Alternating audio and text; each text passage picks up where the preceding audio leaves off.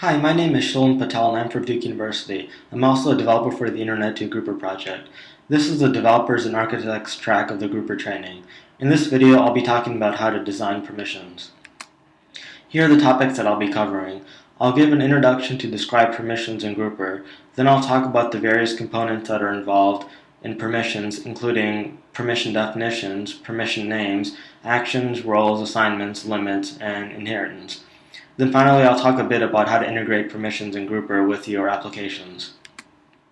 This is a slide from one of the introductory videos that basically expresses that there's a lot more to Grouper than just simple group management. Grouper has an extensive attribute framework that allows you to assign attributes to all sorts of objects, including groups, folders, members, memberships, and even other attribute assignments. This attribute framework is the basis for the permission management capabilities in Grouper. These capabilities allow you to manage the roles and permissions of an external application. A permission consists of three primary parts, a subject, an action, and a resource, uh, which I'll cover in more detail throughout this tutorial. A person can get a permission in multiple ways. The person may be in a role and that role has been given the permission directly, or a person may be given a permission directly um, as well, though that permission has to be in the context of a role. The benefit of that is that the person will automatically lose the permission if that person is no longer in the role. Also, a person may get a permission indirectly through the various inheritance methods that exist in Grouper. And finally, just like groups, there's a flexible delegation model available in, uh, for permissions, uh, which is possible because attributes are defined and created within the same folder hierarchy that exists in Grouper for groups. So the first step in building permissions in Grouper is to create a permission definition. There are many different types of uh, attribute definitions, and one of them is for permissions. The permission definition uh, defines the resources and actions that can be used by permissions created using that permission definition. It also contains uh, security information, such as who can create permission assignments using a given definition, and who can see permission assignments.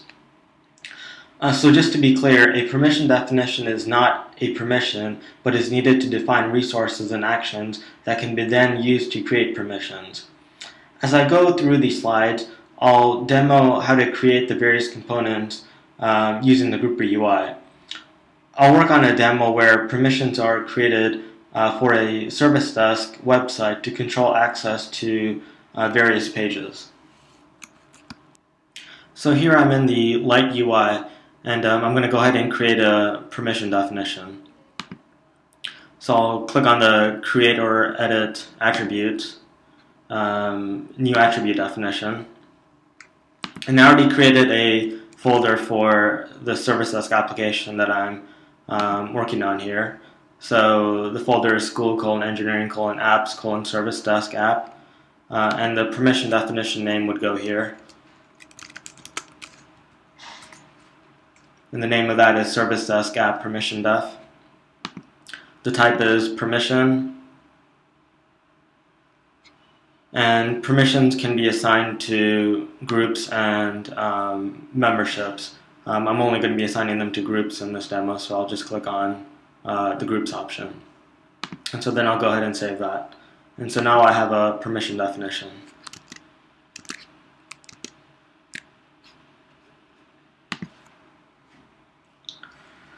So that was a demo of creating permission definitions. Uh, the next step is to create permission names. Permission names are a type of attribute names uh, where the associated attribute definition has the type of uh, permission. These are objects created within the grouper namespace hierarchy, um, just like attribute definitions. Uh, when thinking about this in terms of the permission triple, uh, this would be the resource. You typically have more than one permission name per permission definition. Uh, now I'll go back to the demo and create some uh, permission names. Uh, we'll assume that the website um, has just two pages, a home page and a user information page where authorized people can see and possibly update user information.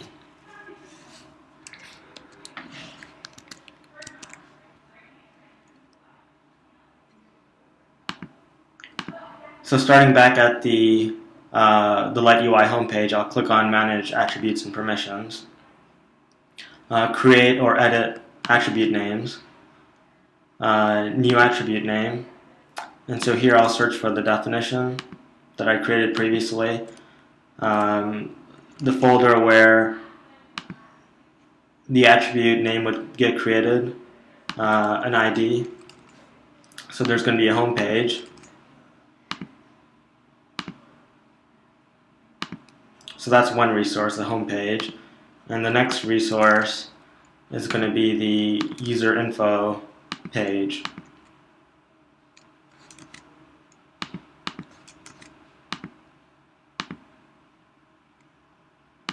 And so now I have two permission names uh, in Grouper which represents two resources for this given application. So that was a demo of creating permission names. Uh, next we want to create some actions. Each permission definition can have a set of actions that can be used to form permissions using that definition. Uh, these actions are free-form strings. Our demo website will have two actions, a read action and an admin action. So now I'll go to the attribute definition uh, for this application. Uh, I'll click on the actions button and so I'll add a, a read action and an admin action.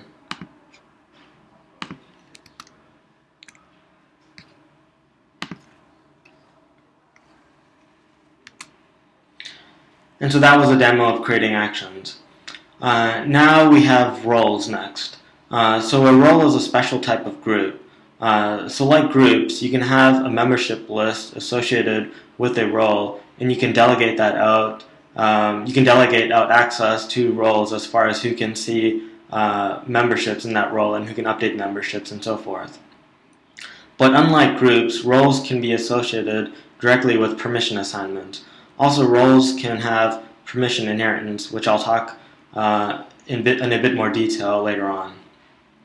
So now I'm going to create a couple of roles for this demo application.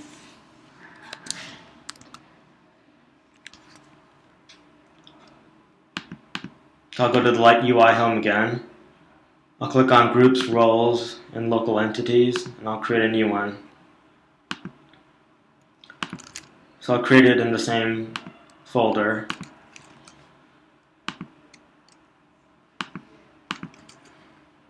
So I'm going to create a tier 1 service desk role. Um, and the purpose of this role is to have limited um, capabilities within the application.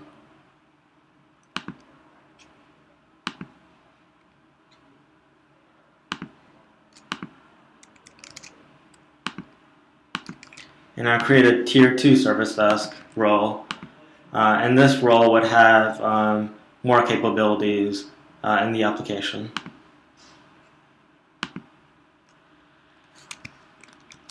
So that was a demo of creating roles. Now we finally get to the point of creating permission assignments. Uh, this is where the permission triple comes into play. The subject is either a role or a specific subject within a role. Uh, the latter is useful when you only want some people in a role to have a permission, but you want to make sure that if those people drop out of the role, then they lose the permission automatically. The action is the free-form string such as admin or read, and the resource is the permission name, which in my demo has been homepage uh, and user info page. Uh, note that the permissions can also have a start and end date associated with them, so a permission can start on a future date and also end on a future date if you want. Permission assignments can either be allowed permissions or disallowed permissions. With an allowed permission, you are saying that a subject can perform some action on a resource. With a disallowed permission, you're saying that a subject cannot perform some action on a resource. If a subject does not have a particular allowed permission, then creating a disallowed permission for that subject is not needed to deny that permission, given that the default behavior is that you won't have a permission unless granted one. But disallowed permissions are useful if, uh, for instance, you have a set of allowed permissions that have a few exceptions where it's easier to add disallowed permissions on the exceptions rather than creating allowed permissions that would exclude the exceptions. A simple example would be uh, that a role is given a permission, but one person that happens to be in the role shouldn't have the permission. So that person is in the con- so that person in the context of the role would get a disallowed permission. When you deal with all the inheritance involved in permissions, you can easily get conflicts. The permission processor has an algorithm to compute and resolve permission conflicts when performing queries. Uh, here on this slide I have a summary of the algorithm, uh, but there's more detail on the wiki.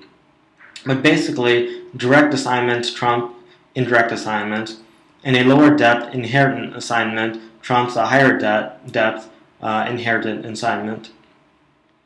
And inherited allow and disallow assignments at the same depth will yield an allow.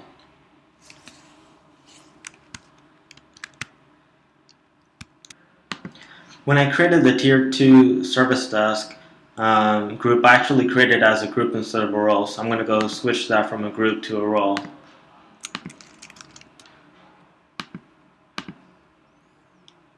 So here it was a group before, now it's a role, and I'll save that. So now I want to create two permission assignments. Um, they're going to be role-based assignments. Uh, the permission definition is going to be uh, the one that I've created for this application. Uh, and the, the two assignments that I'm going to create are, uh, well the first one is going to be that the tier 1 service desk role will have read on the user info page.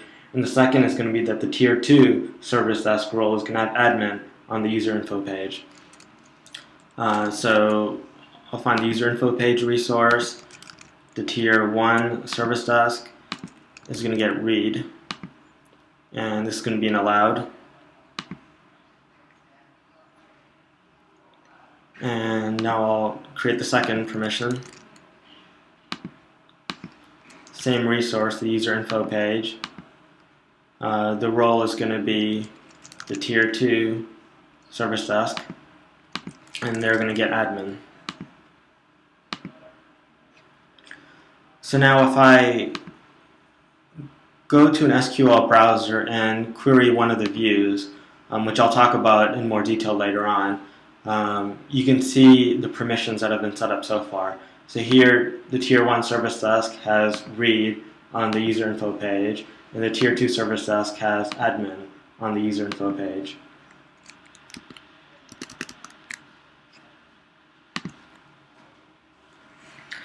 So the next thing are uh, limits. Uh, limits are runtime constraints on permission assignments. There are many built-in limits in the core grouper code, such as weekday 9 to 5, uh, but it's a pluggable interface so your grouper admin can add custom limits if they want. Uh, so when you query permissions, you can supply limit values such as the time, and if the permission has uh, the weekday 9 to 5 limit, uh, then you'll only get a true response back if the subject has the permission and the time is within the restriction. And note that limits only apply to allowed permissions. Next we have inheritance. Uh, so there are different types of inheritance uh, that you can have in Grouper. The first is role inheritance, um, where one role inherit, inherits uh, the permissions of another role. Uh, so I'll do a quick demo of that. So what I'm going to do is create a service desk manager role and have it so that that role will inherit the permissions of the tier 2 service desk role. So I'll go to the groups roles and entity screen, uh, click on the button for a new role. I'll put it under the same folder. Uh, this will be the service desk manager role. I'll click role, uh, so it gets defined as a role, not a group and I'll give the same name and save that. And so now I can go the go to the role inheritance um, screen and search for the tier 2 service desk role and have it so that um, that that role is implied by the service desk manager role. And so now if I go back to the um, SQL browser and do a refresh there, you can see that the Service Desk Manager um, role has admin on the user info page, and that happens because the Tier 2 service desk has admin on the user info page.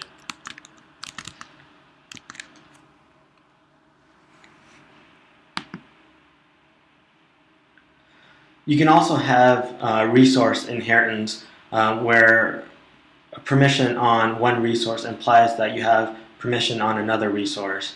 Um, and also do a quick demo of that um, where we're basically going to make it so that if you have a permission on the user info page, then you also have uh, the permission on the home page.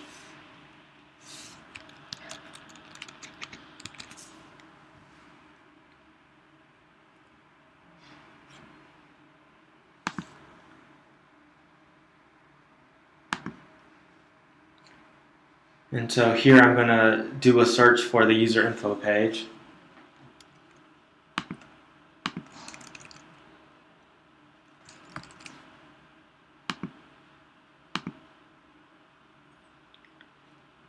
And I'll go to the inheritance and then search for the home page resource and then click on the button add attribute name applied by user info page. And so now that relationship has been added. And now if I go back to the SQL query browser and do a refresh, uh, you can see now the Service Desk Manager has admin on both the home page and the user info page. The Tier 1 Service Desk has read on both pages, and the Tier 2 Service Desk has admin on both pages.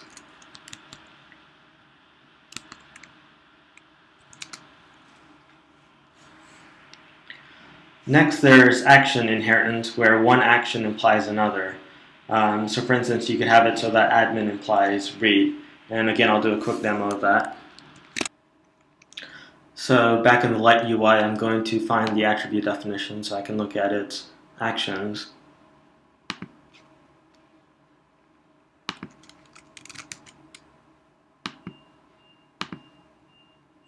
And so now down here I can click on actions um, I can click on the um, admin action uh, to edit.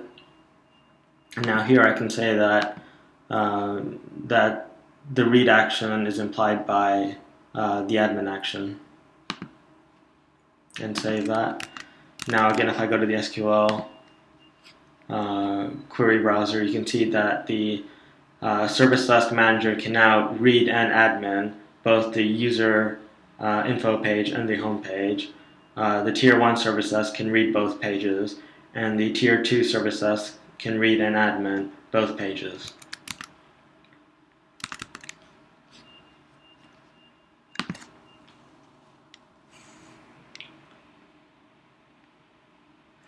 And the, um, the last inheritance uh, is based on group membership.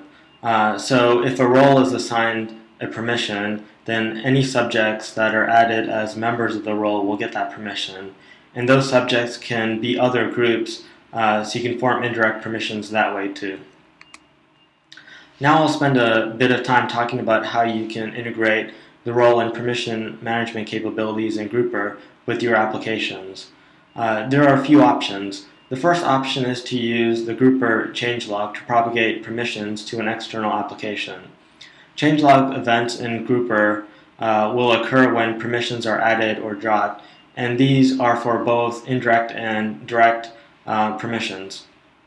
Although the changelog doesn't record uh, the permission triple involved for performance reasons, instead it'll record which roles have had permission changes. The changelog category is, is permission, and the changelog action is permission change on role. It's expected that the application will see that a role has had permission changes, and then query grouper for all permissions involved in that role and perform a sync with the application. The next approach is for the application to look up permissions in Grouper in real time using Grouper Web Services. So in this case, when a user goes to some protected resource, at that time the application would query Grouper to see if that user should have access or not. Uh, this is a possible approach for custom applications where you can control how the application deals with permissions. You probably need to consider caching if, in the application, especially if permissions are very fine-grained. And as part of the queries that are made, uh, you can also send limit values. The next approach is to use views and grouper.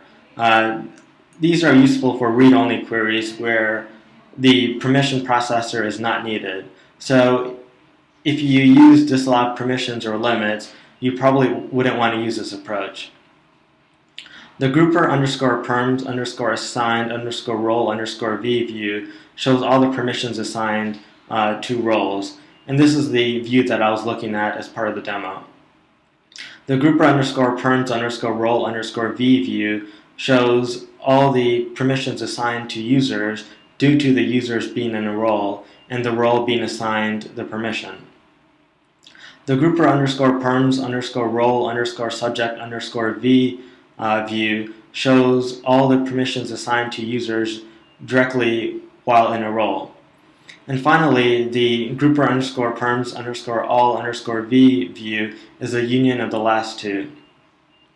If you simply want to see if a, if a person has a permission, you would probably use the last view.